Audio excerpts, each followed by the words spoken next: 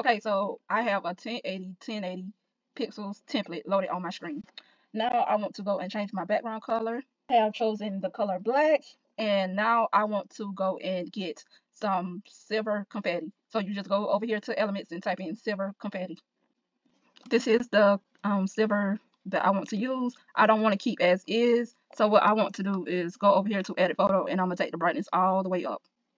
Once you go to edit photo, go over here to under adjust and then scroll down, turn go to brightness and I'm to take it all the way up to 100 just like that.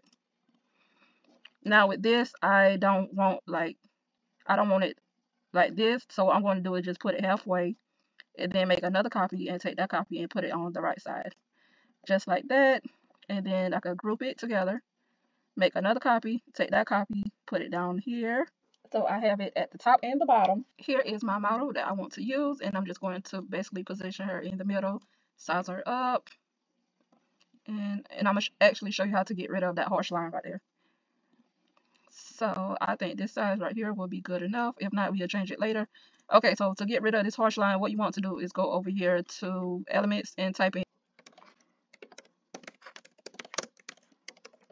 I typed in transparent gradient. Now I'm going to go to under graphics and click on see all.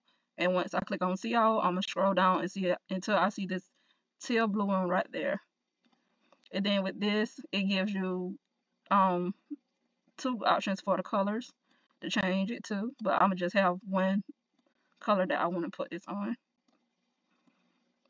So, you as you can see now it's like a blue and a white, but I'm just change them both to the color black.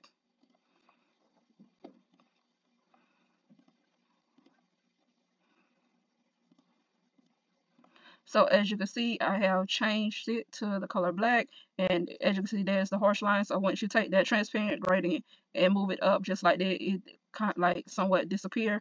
And if you want to make another copy to like actually get rid of it, you can just do it like that.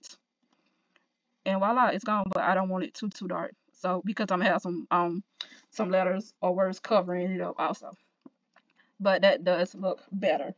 So now I want to actually go and get it's a dollar bill, $100 bill, and you can just go to elements and just type in. So here is the $100 bill that I want to use, and what I'm going to do is basically just position it behind her. So I'm gonna go to position and I'm click on to the back, and as you can see, that line is showing up. So I'm gonna do just take it up a tad bit. You can make this bigger or smaller. I think this right here is good enough.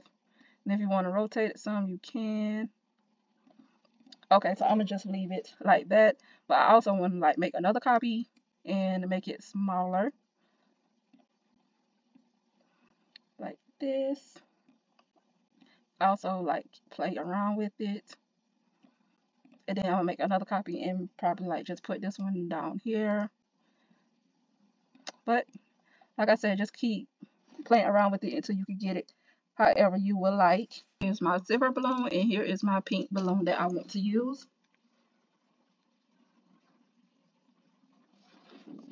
Now I'm just going to move this one out the way and I just want to go ahead and position because it's going to be more silver than pink on this flyer design. So yeah, it's just going to be like a hint of pink but more so a silver thing. And then I'm going to make a copy of this.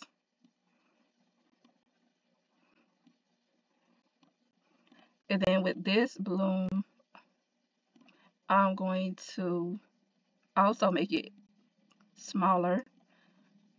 So I'm gonna just make it smaller, but I'm gonna like position, like bring it up some. Because like I said, I just want like a hint of pink on this flyer. And when I say a hint of pink, meaning there it won't be too much pink up here. So yeah, doing here now is just basically flipping the balloons since I already had grouped them. And now I can just go ahead and position it to the back. Here is my champagne bottle that I want to use. And of course I'm going to make it smaller. And just put it down here. Make it a tad bit more smaller. And if I don't like it, I can always go back and change it.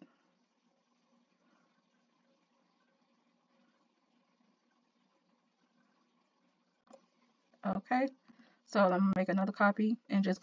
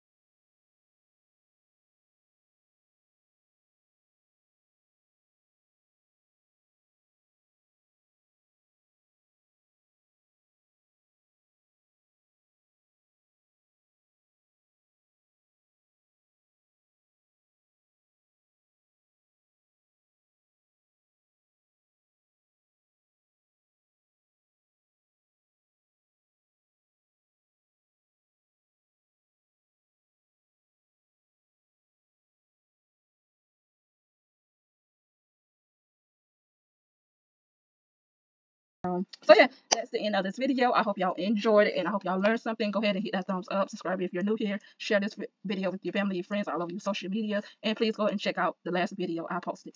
And thank you again. God bless.